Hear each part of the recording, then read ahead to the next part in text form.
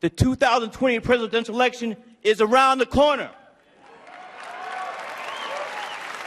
Let's all mobilize. Let's all be on the right side of history. Make the, make the moral choice between love versus hate. Let's do the right thing. You know I had to get that in there.